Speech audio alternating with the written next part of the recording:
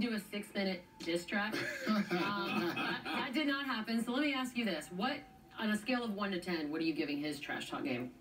Well, that's about a three. You know, I've been around for a long time. You know, the likes of Kevin Garnett. Obviously, I grew up watching Gary Payton, hearing him. So I, that, that's that's light. Could you even Yeah. hear Draymond the other night? No, I couldn't even hear him. But this is how it all started. Blake Griffin posted him up, got a foul, and I was just pretty much like, "You can't guard Blake. He gon' he gonna give it to you all night. You're not that good.